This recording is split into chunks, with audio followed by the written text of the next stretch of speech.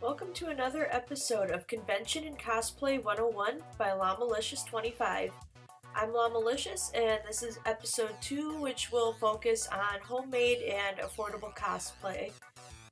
Cosplay is my newest hobby, and a lot of people think that you have to spend all this money in order to do cosplay, but I don't believe so.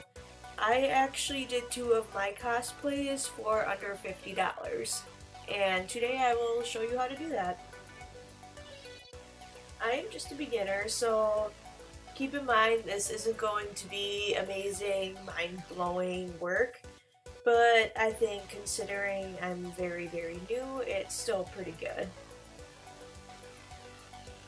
First, what I would do if you are brand new to cosplay is I would make a list of all your favorite characters or characters that you identify with very, very well. And then I would look at a series of their outfits and kind of put together what do you think you could realistically make with your skill level. If you can sew or do things like that, more power to you. I unfortunately have no ability with that stuff. For my example, I'm going to use two cosplays that I have done in the past. I have Marceline the Vampire Queen from Adventure Time and Pinkie Pie from My Little Pony Friendship is Magic. I will be breaking down the cost for each piece, and no matter your budget, I will prove that you can cosplay. First, let's start with the Marceline cosplay. She was my first one I ever did, and I debuted her at Anime Milwaukee. Around Halloween, I was fortunate enough to find a costume set that came with the wig and the guitar prop. It was on sale and clearance, and I ended up getting an extra 50% off the price. I paid about $7 for it. Then I went to Walmart and I found the tank top for $5 and the pants for 15 The boots were at a secondhand store for 5 For the makeup I used eyeliner, eyeshadow, and mascara, and spend about maybe $5 after coupons that I have. My total cost for this cosplay was $37. Now let's look at the Pinkie Pie cosplay.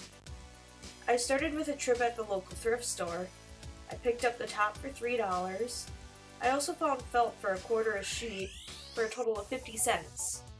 And I safety pinned the felt onto the top after I cut them all into the shape of her cutie mark. Also around Halloween, I was able to find the tutu for about $10 on sale. I picked up the flip-flop for $3, and the wig was found online for 15 while the ears were found on Etsy for $10, and they were awesomely a homemade product. The total cost for this cosplay was $42.25. These are just a couple ways you can put together cosplays without spending a lot of money. Remember, the main goal of cosplay is to have fun. So you don't have to have something fantastic when you first start out, although I'm sure you'll do just great.